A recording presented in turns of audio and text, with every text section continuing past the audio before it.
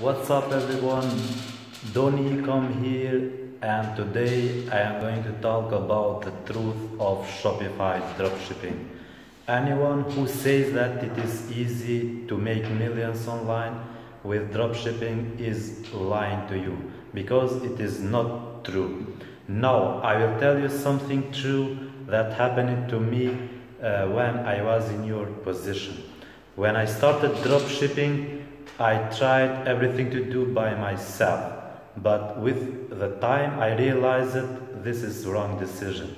You must learn from experts or people like me that have failed lots of time and now are succeeding in this business. So keep in mind that success is not overnight, but it is built day by day with hard work and less sleeping. Now I will explain you uh, what dropshipping exactly is. Dropshipping is the process of buying uh, one product from AliExpress and uh, uh selling, uh, buying it from with low price, for example, five dollars, and selling it in Shopify for twenty dollars.